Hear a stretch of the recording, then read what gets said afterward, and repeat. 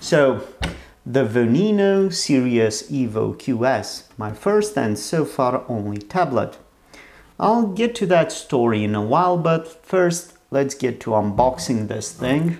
We have this nice looking um, hard cardboard box.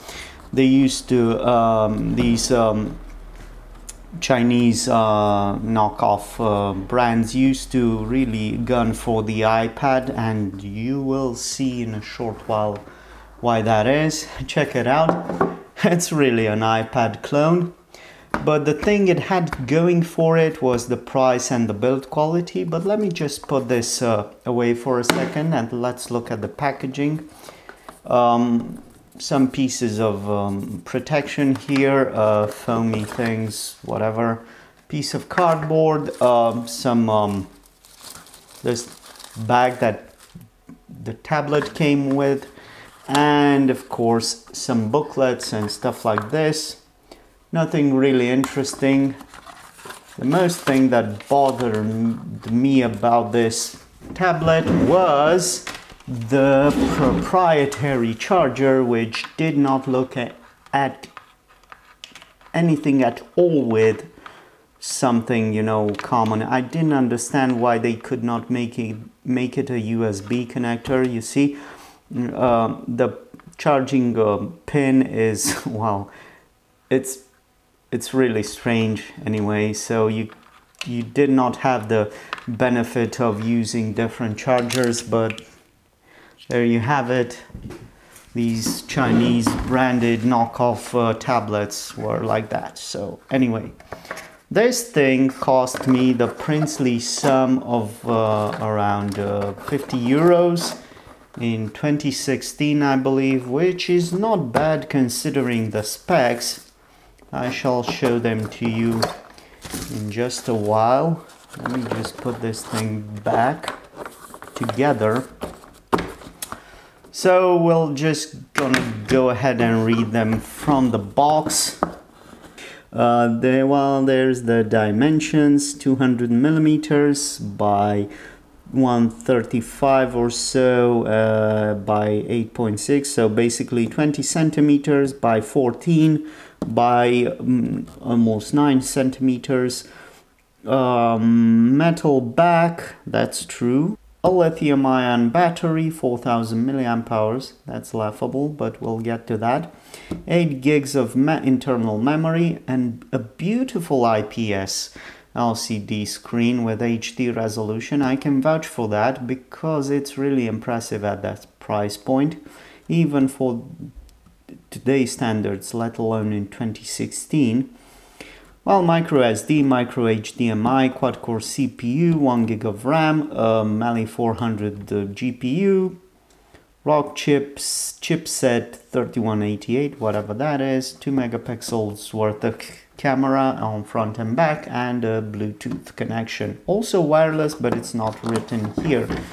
So yeah, you can see the back of the box as well some sort of instructions and beautiful packaging really so let me just put this away and let's get to reviewing the tablet. So I bought this thing in 2016 looking for a way to replace my uh, iPad Pocket PC uh, but not switching fully to uh, an Android um, phone.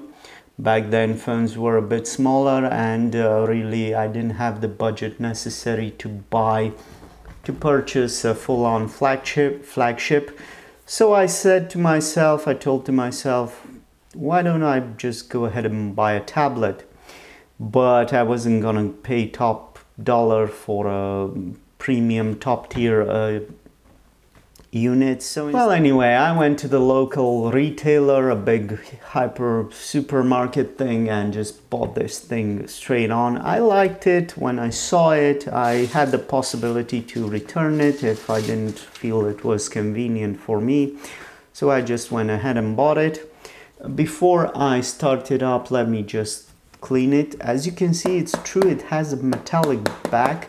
It's not really iPad level uh, build quality but still not bad as long as you don't flex it like so. So as soon as you flex it it just starts to disassemble. But let's put it back together.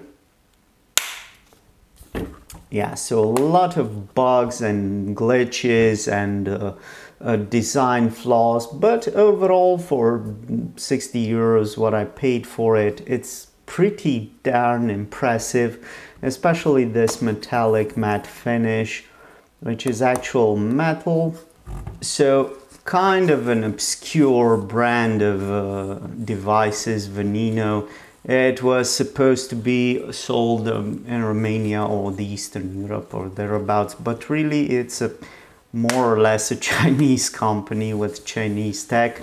Not bad things per se, but really there's something lacking about this thing. Uh, as soon as you turn it over, you will see what I mean. It's looking worse for wear again. Uh, a few scratches on the plastic uh, cover of the touchscreen uh, it's not glass obviously but ah, right now I can see it it still has the original uh, protective foil on it. So I don't know if I can if I can remove this for the camera. So the screen protector is pretty well put together. I'm going to break my nails trying to remove it so I'll leave it like this. Let's just start the thing right up and really I will try to walk you through my experience with the Vonino OS okay? So we need to turn it over like so. Beautiful screen you wouldn't expect this in the 60 euro um, market level position whatever. Beautiful animation. Um, I was blown away by this screen really I was uh, I don't know if you can see it on camera, but you'll see the vibrant colors, the high contrast, the acceptable, more than acceptable, more than reasonable resolution. It wasn't supposed to be a premium device, so I wasn't expecting something premium. Uh, it takes a lot of time to boot up, uh, but once you just give it a minute. Okay, so I have to turn it over once more. I have some password here. Uh, I hope I remember it.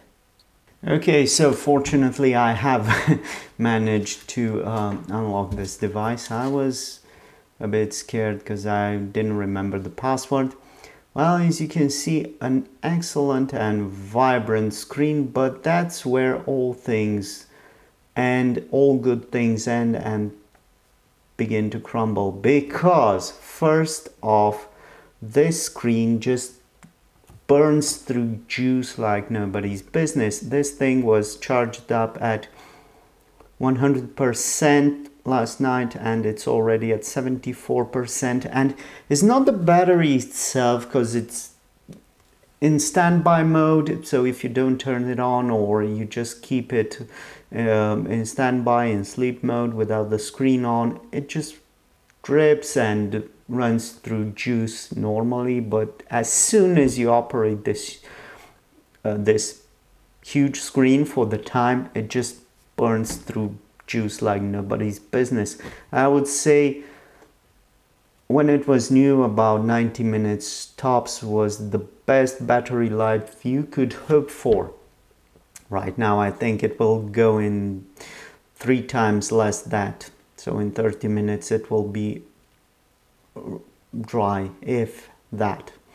So anyway um, impressive screen a whole lot of um, apps a whole lot of widgets Android is an older version which I don't like mostly because if I want to write something um, I don't get the keyboard with the numbering. So yeah you don't have the numerical on top of the QWERTY keyboard.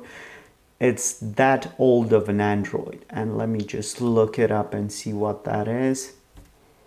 Um, so yeah already at 60 68 67 connection 67 percent battery life but we'll turn off the Wi-Fi and see what's what with this tablet so it's got a Rockchip system uh, it's running on Android 4.2.2. I don't know if you can upgrade, I mean update it. I don't really care. Um, RAM is also, so memory is also faulty because you are not really able to use it. It's quite laggy and quite unresponsive at times. Maximum apps that you can run um, in the background uh, simultaneously uh, two simple apps um, stuff like that so not much more huge lag as you can see second app and it's already struggling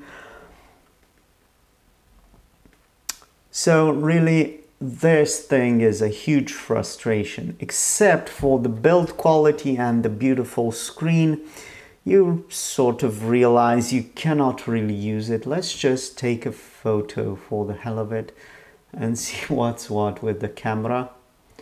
And I'll try to show you the photo results afterwards.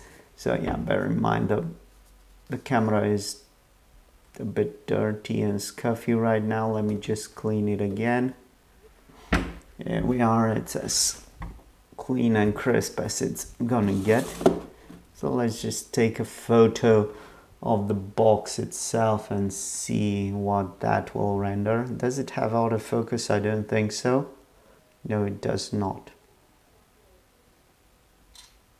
Yeah.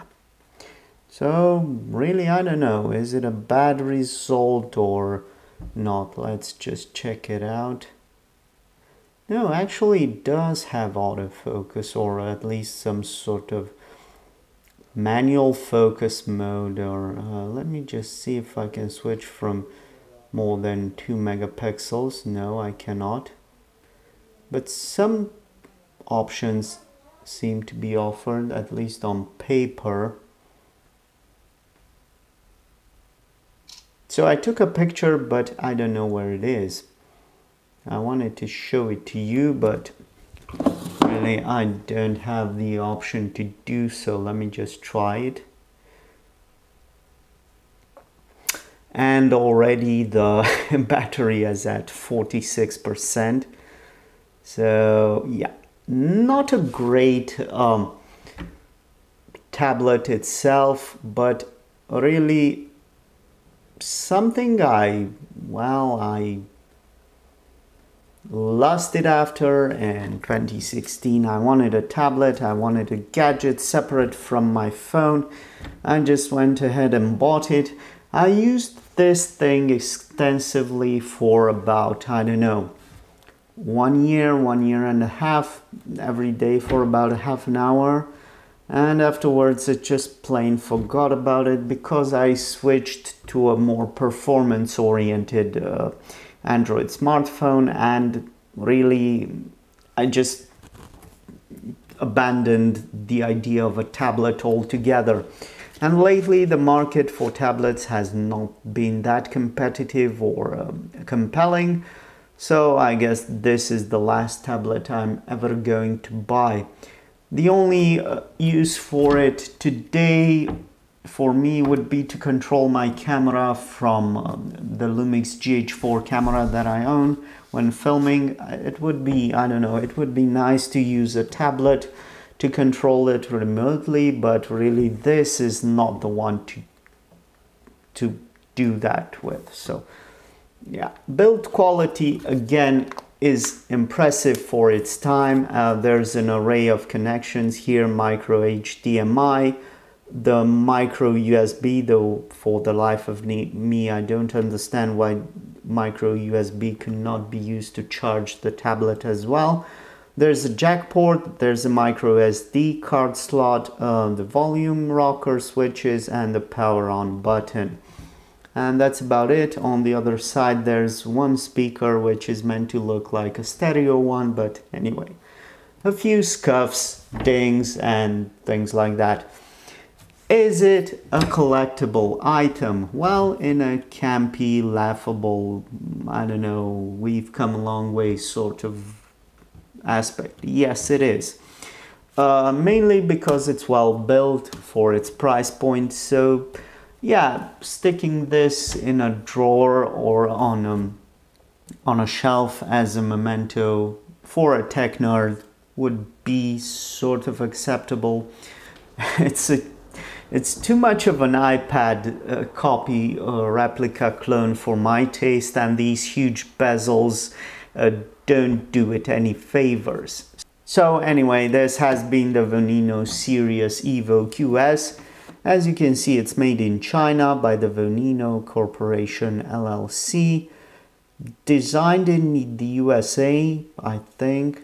So imagine how many uh, failed Apple applicants have worked for the Vonino Corporation. But anyway, that's just my two cents on the, the matter.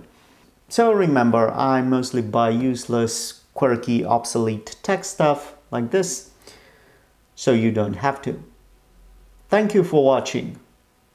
Bye bye.